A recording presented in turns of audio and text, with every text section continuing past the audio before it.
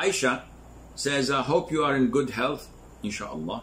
I want to ask the ruling of dress code for Muslim women in Islam when she is staying temporary or temporarily in a foreign state.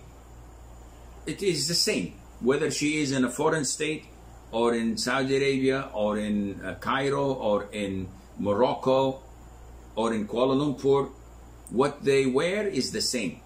They have to cover themselves with an outer garment that is thick, not transparent, that does not expose her bone structure and body curves, that does not look like the attire of the disbelievers, and that is not a fitna on its own. It does not attract people to look either to the design or because of the uh, uh, flashy colors.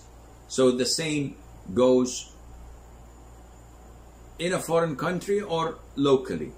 But if you're referring to wearing abaya, the black abaya, no, this is not mandatory for a person to uh, uh, adopt and wear in such foreign countries. If you feel that wearing something that is dark blue, that is gray, that is brown, and it has a acceptable design that fits the requirements of the Islamic attire, there's no problem with that, inshallah.